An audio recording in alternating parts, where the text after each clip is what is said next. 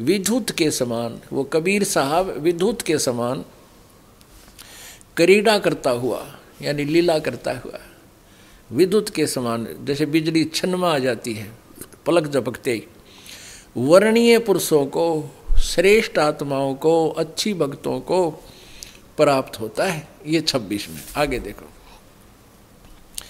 सत्ताईस में लिखा है सत्ताईस में पदार्थ। प्रेम की वे सैकड़ों धाराएँ।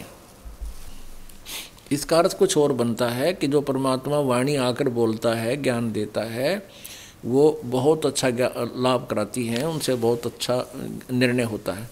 फिर भी, प्रेम की वे सैकड़ों धाराएँ, जो नाना रूप में सतिथि को लाभ कर रही हैं, वे परमात्मा को प्राप्त होती हैं। प्रकाश पुंज परमात्मा को, प्रकाश पुंज, यानी उस तेज, तेजो में भगवान को, जैसे सूर्य एक प्रकाश पुंज है तो उसको निराकार कैसे कह देंगे प्रकाश पुंज को? तो ऐसे वो परमात्मा तेजो में, उनका एक तत्व से बना हुआ शरीर है, तेज तत्व से, अग्नि तत्व से, प्रकाश तत्व से, प्रकाश पुंज परमात्मा को विधिवर्तियाँ विषय करती हैं। जो परमात्मा ध्यूलोक के और तीसरे पृष्ठ पर विराजमान है। अपुण्यात्माओं वो परमात्मा किसी एक स्थान पर रह रहा है, विराजमान है।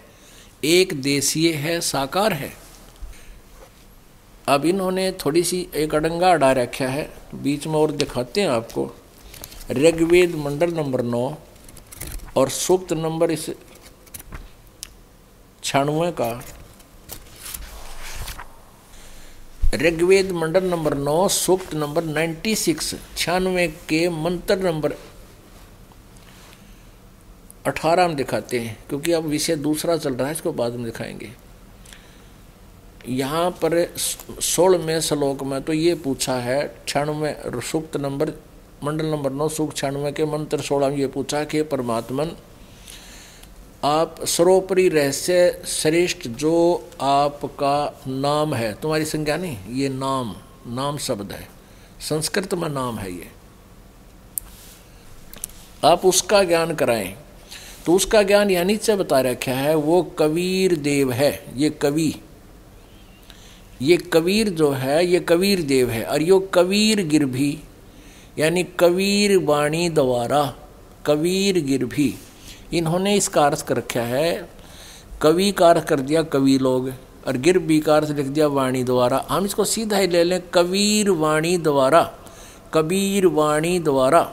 इसको हम कबीर लिख दें, और वाणी द्वारा, कवि, कबीर वाणी द्वारा, हम देसी भाषा में। वो कबीर वाणी द्वारा अपना ज्ञान उच्चारण करता है, जिस कारण से वो कवि की उपाधि भी प्राप्त करता है। ये आगे देखो। ये देखो। वो ऋषि मना ये ऋषि कर सवरसा। सवरसा सैंसरणित है। हज़ारों वाणी। पदवी कवि नाम। तृतीयम धाम महिष्य शिष संत सोम विराजमानु राजती सतुप। इसका अर्थ क्या है? इन्होंने यहाँ गलत किया है थोड़ा। उसको ठीक करने के लिए। ऋग्वेद मंडल नंबर नौ, सूक्त नंबर, ये छियानवे है। अब वापस छियासी पे चलेंगे फिर हम इसको करके। ये अनुवाद चल रहा है मंत्र नंबर अठारह का। ये आपको अठारह मंत्र दिखाया।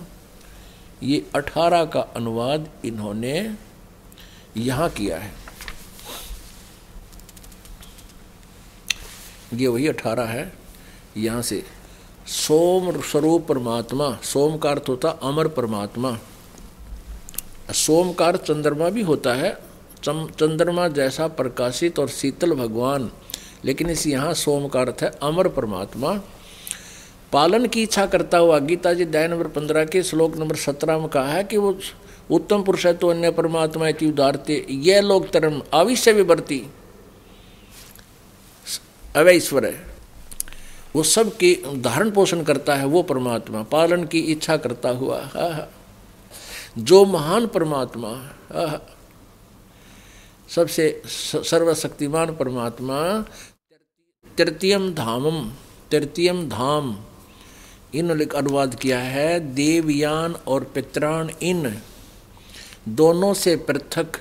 तीसरा जो मुक्ति धाम है, उसमें विराजम। संस्कृत सही बता रही, विराजमान माने विराजमान। इन अड़ादिया जो ज्ञान योगी। अरे महिमा परमात्मा की चल रही है, अड़ ज्ञान योगी लिख दिया। है, उसको प्रकाश करने वाला है। कोई बात है ये ये यहाँ इन्होंने सच्चाई को छुपा दिया कि वो परमात्मा तीसरे धाम में विराजमान है। इतना ही लिखना था। यहाँ इनके दानंद जाली थ्योरी याद आ गई कि दानंद तेनू कह कि एक देश में रहता को नहीं। यहाँ उनके इस अनुवाद करता के जो पहले तो ठीक लिखा, अट्ठासी में था।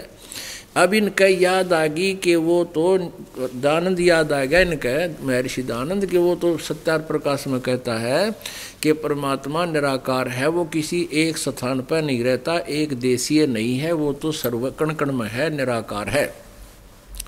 इनका वह बात याद आ गई तो यहाँ अड़ंगा कर दिया। अब उसको सेट करने के लिए, क्योंकि आप जी अब बुद्धिमान हो, एक इधर मध्य प्रदेश से, मध्य प्रदेश से एक भक्त आया, उस शहर, किसी शहर से, वो कहने लगा, जी, हमने आपका सत्संग टीवी पर देखा, सुना। हम हिंदू होते हुए कुरान शरीफ लाए बाइबल लाए खरीद के, और हमारा काफ़ी भगत इकट्ठे हो जाते हैं। जैसे पहले रामायण देखा करते, टाइम काट दिया करते, न्यों बैठ जाते हैं, सैकड़ों की संख्या में एक एक टीवी हो रहा है। और वेद लाए इन्हीं के अनुवाद किए हुए। और गीता जी देखी, सारा एक एक अक्षर मिला हमने। तो पुण्यात्माओं, अब ये दास जो आपको बता रहा है तो ये आप यहाँ मेरे बताण में को नहीं सारो, क्योंकि ज्ञान इतना ज्ञान ठोक दिया हमारे अंदर है। विश्वास ना होता कि गुरु जी महाराज जी दिखा रहे हैं, या ये सच्चा पाओगा फिर वो सच्चा पावे है, क्योंकि सच्चा ही है। और अच्छा है कि आप मिलाओ, अगर हो सके तो जल्दी विश्वास हो। फिर ने बोले, जी, उस दिन के बाद पूरा, पूरे के पूरे व्यक्ति सुन हो जाते हैं, सारा काम छोड़ देते हैं।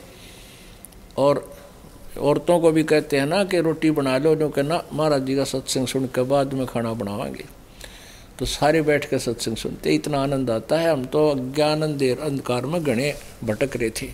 तो अब हम परमात्मा को पहचानेंगे, ये बिचली पीढ़ी आ गई।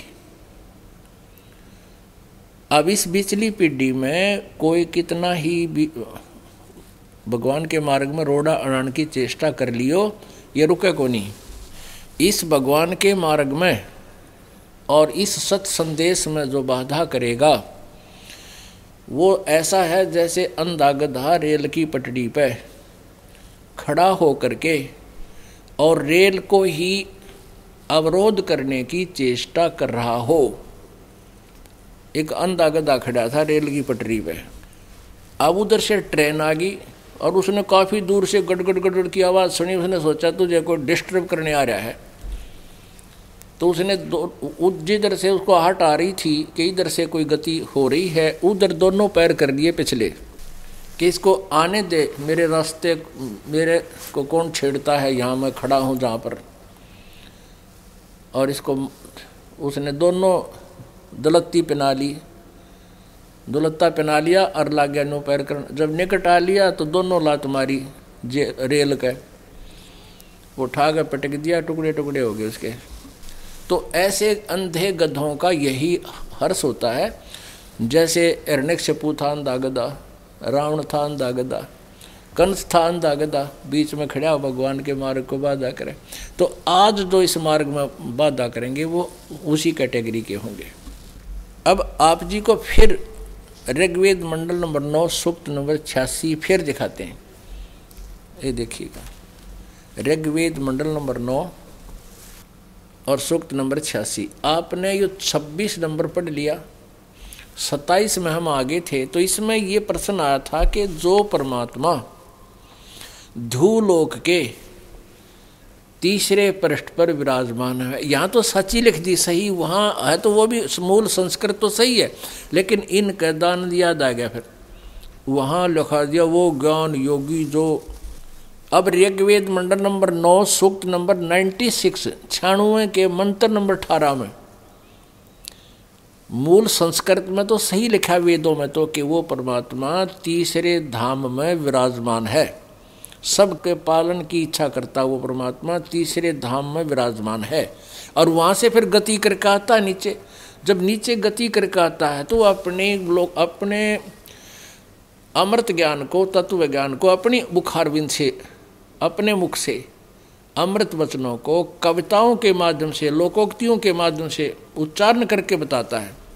और जिस कारण से वो कवियों में से एक प्रसिद्ध कवि भी होता है, माना जाता है।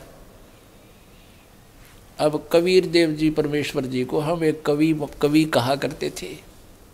प्रसिद्ध कवियों में से हमारी पुस्तकों में जो विद्यालय में जो पुस्तकें हम पढ़ते थे, उनमें भी कवियों में से उनका एक, उनका विशेष स्थान होता था।